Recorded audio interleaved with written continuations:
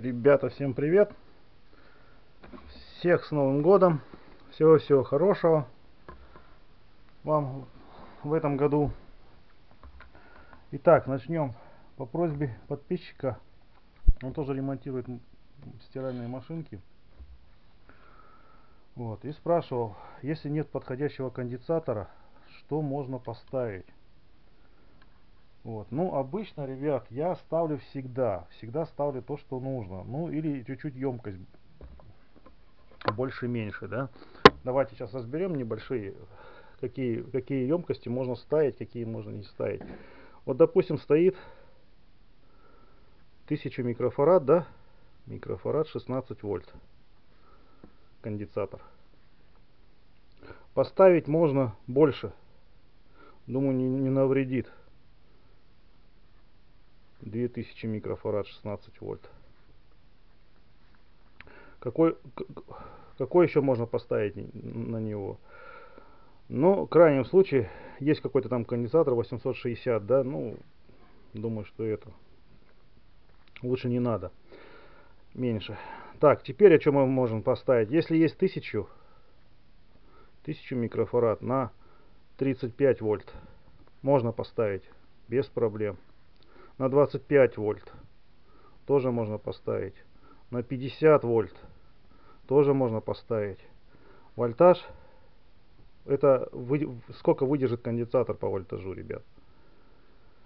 Вот. По микрофарадам сильно не увлекайтесь но вот я говорю вот на 1000 на 2000 можно поставить в принципе. Смотря где конечно стоит. Вольтаж вот можете увеличить. Меньше нельзя. Если вы поставите 1000 микрофарад 10 вольт то он скорее всего греться начнет и взорвется соответственно. Так, теперь что мы... Давайте дальше. Теперь, если совсем нету, да, никакого подходящего, то можно соединить последовательно или параллельно. Ну, давайте вот последовательно нарисую. Вот один конденсатор, вот второй конденсатор. Последовательно соединяем плюс и вот здесь плюс тоже протекание было вот так напряжение. И здесь соединяем. Вот.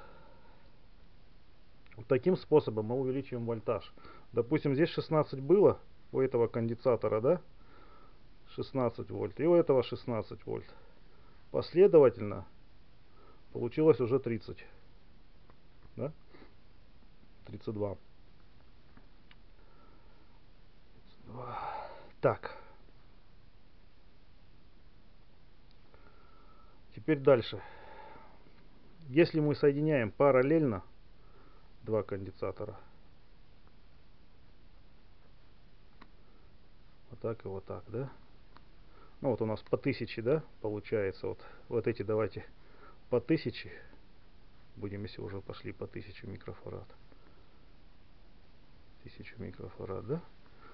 То получится а, вольтаж увеличивается, емкость та же самая остается 1000 микрофарад. Если же мы соединяем параллельно, вольтаж остается тот же самый, 16. 16. Емкость увеличивается 2000 микрофарад. Вот так можно соединить. Но я, ребят, редко когда так соединял. Вот, вот так фильтрацию я делал. Когда вот если на переменный ток слышно, фильтрацию можно сделать вот так. Больше, больше, больше емкость. Хоть до 10 там 10-10 тысяч микрофарад можно соединить, чтобы погасить этот, эту переменный ток, если куда-то нужно. Вот. Можете попробовать, конечно, зарядить конденсатор мощный, или вот так соединить и светодиод к нему прицепить. Ну, только через резистор, конечно. Вот, теперь давайте попробуем на практике. Вот у меня два конденсатора. 10 микрофарад, 35 вольт. 8 микрофарад показывает мой прибор. У меня микрофарады меряет. И этот конденсатор точно такой же. Они новые были оба. 8. Теперь что, что мы делаем? Плюс-минус соблюдаем. Вот минусы в одну сторону, да? чтобы не перепутать. Если вы один перепутаете, а все остальные правильно соедините, то он взорвется. Начнет греться и взорвется. Теперь меряем емкость. Вот теперь видно, да? Что уже у нас 16 микрофарад стало. Емкость увеличилась.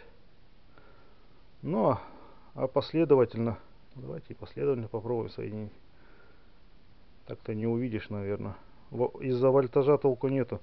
Последовательно вот получается минус, минус. Вот так вот. Минус к плюсу получается соединяется. Ну, как аккумулятор соединяете или там, что там соединяется еще. Банки аккумуляторные, да. Батарейки. Емкость даже упала, видите? Емкость упала. Ну вот так можно соединить. Так что вот так вот, ребят. Так, ну вот здесь получается что у нас? Ну, допустим, здесь напишем плюс-плюс, а здесь минус-минус, да? Чтобы не перепутали. А здесь вот плюс, минус, плюс, минус. Вот так вот. Получается, емкость падает. Но это прибор, может быть, так измеряет. Ну, я вот так, ребят, никогда не соединял пос последовательно. Параллельно я соединял. Параллельно, сами видите, что принцип работает последовательно. Ну, можно соединить, но фильтрация будет хуже, или как сказать.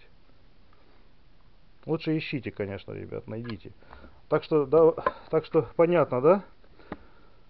А, если 16 вольт стоит, то ставим, можем наставить 25, 35, 50 вольт, 100 вольт можно поставить, разницы нету. Главное, что вот эта емкость должна быть такая же. Если стоит, а, допустим, там 35, да, у вас, 35 вольт, то ставим только больше. 50 можно поставить, 35, 50, ну и выше. 16 уже тоже ставить нельзя, он не выдержит. Значит, ставится, ставится 35 вольт, значит там 25 вольт точно на конденсаторе приходит. Как-то так вот. Ну все, понятно, да, ребят? Так что примерно я вам сориентировал. Вот 68 микрофарад, 100 вольт у меня. Сейчас померим, какая емкость. Что он там какие-то 17 показывает? Высох что ли уже?